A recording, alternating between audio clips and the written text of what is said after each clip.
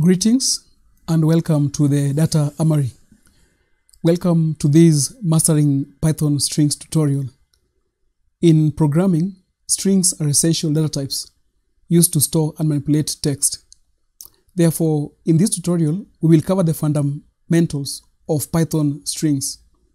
If you are new to programming, this tutorial will provide you with the knowledge and skills to use Python strings effectively in your projects. So let's uh, get started. We are talking about Python uh, strings. When we talk about Python strings, the study objective of uh, this tutorial is to understand the basic concepts of Python strings and how they work. We also seek to learn how to manipulate strings using built-in Python method. Talking about our study objectives, we also seek to be able to identify and use different string objects and their associated uh, methods. We also seek to be able to create and use functions that work with strings. And uh, another study objective is to be able to effectively debug issues related to strings. The study outcome uh, of uh, this tutorial is that at the end of this study, we should be able to create powerful and efficient programs using strings. Should be able to format text, create patterns, and even encrypt data with strings. So to help us explain what our study outcome is, let us uh, go into the things that we are going to learn in this tutorial. Remember, this is just an introduction. And uh, in this tutorial, we'll not be writing code. They'll, we'll be writing code in the upcoming tutorials. This is just an introduction to Python, uh, to Python strings. And one of the sources, one of the very important sources for any beginner to learn this uh, Python documentation, you can find it at www.docs.python.org. And under Python documentation, we are uh, learning about strings. And uh, when talking about strings, it categorizes strings as text sequence type. And uh, already, even the documentation itself defines what a string object is. It says that in Python programming language, textual data in Python is handled with string object, objects or strings. And it defines what a string is in Python programming language. And it says that strings are immutable sequences of Unicode code points. String literals are written in a variety of ways. And remember, this is just an introduction. And in subsequent uh, tutorials, we'll see how to write strings.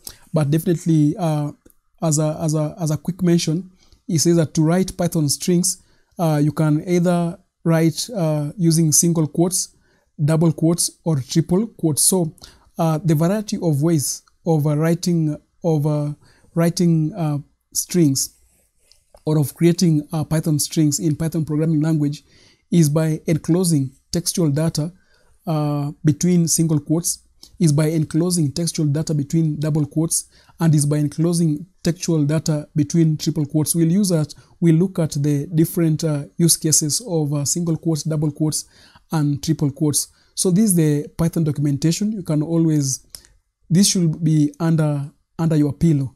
Very important for, for beginners when we are learning Python programming language. So this is one of the resources that we'll use a lot when we'll be learning about uh, Python strings.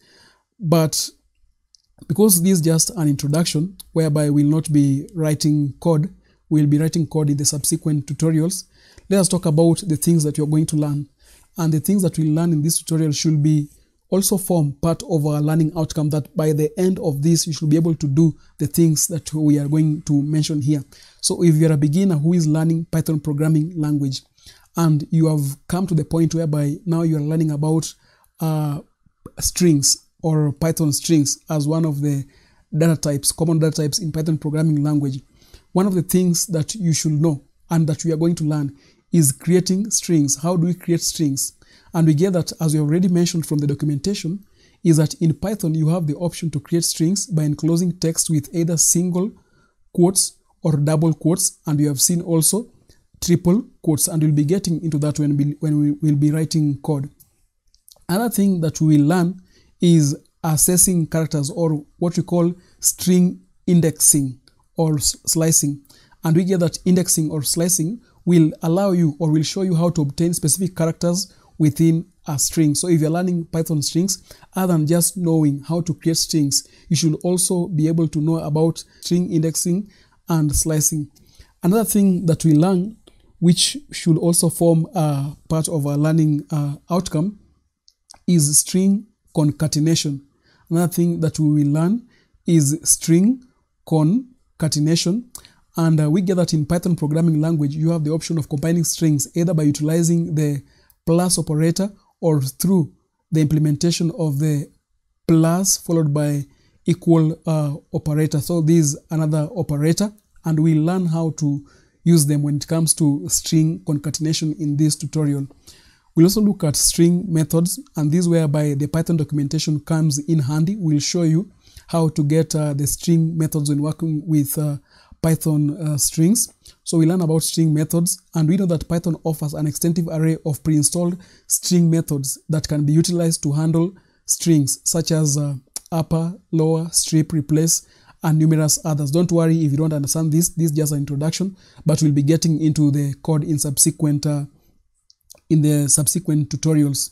We'll also be looking at string formatting, and we know that in uh, Python offers several approaches for string formatting, such as utilizing uh, the format technique and the F uh, strings. Another thing that we'll be covering in this uh, series of uh, mastering Python strings is that we'll be looking at escape sequences. And we know that special characters known as uh, special characters, sorry, uh, escape sequences. We'll be looking at escape sequences and we know that special characters known as escape sequences enable the representation of characters in a string that would otherwise be challenging to express such as quotes, new lines, and tabs. And you don't worry if you don't understand this, we'll be getting into more, more into this when we'll be writing code. Another thing that we will uh, learn about in, in this series of mastering Python strings is string operations. And uh, Python offers a variety of operators that can be utilized to conduct actions on strings, including but not limited to comparison operators, membership operators, and logical operators.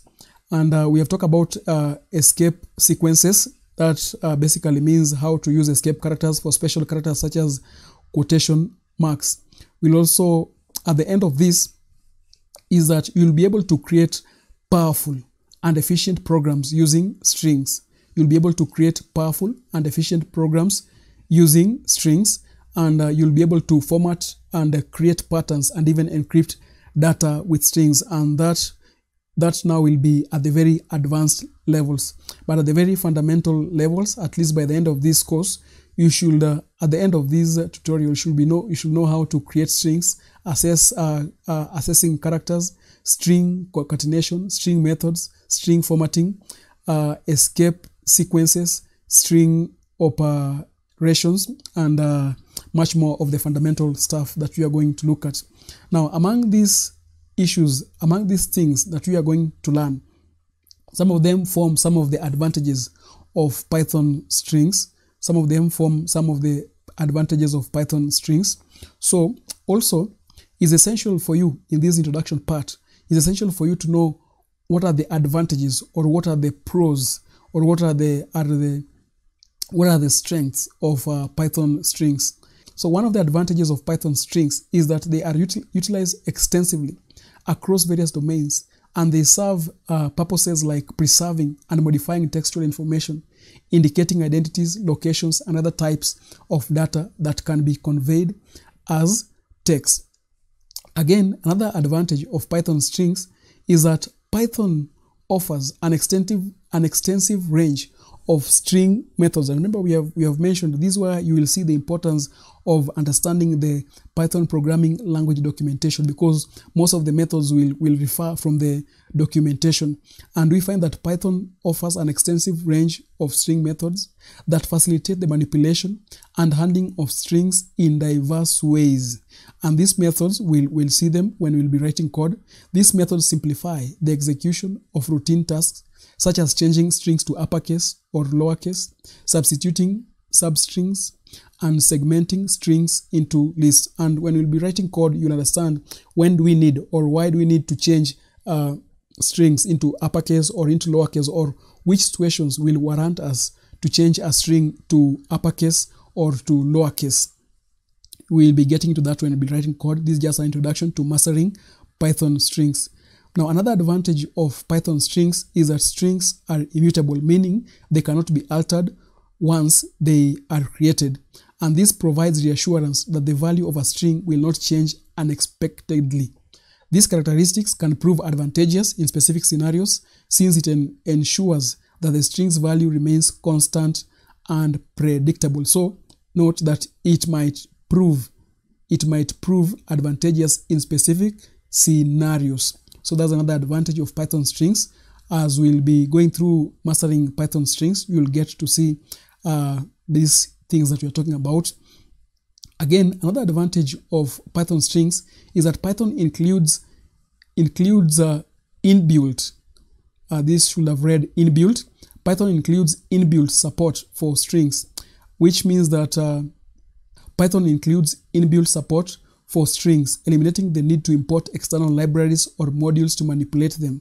Now, this simplifies working with strings and streamline, streamlines your code's complexity, making it simpler to begin working with strings. And these are some of the issues that contribute to Python as a high level programming language, being a language that is that is that is easy to to learn and that it is easy to uh, to to understand.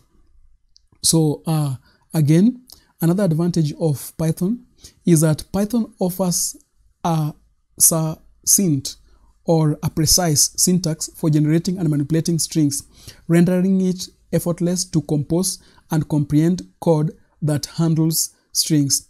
And since we have advantages, we also have some disadvantages. And as you can note, they are they are quite few. We have some disadvantages of working with Python strings.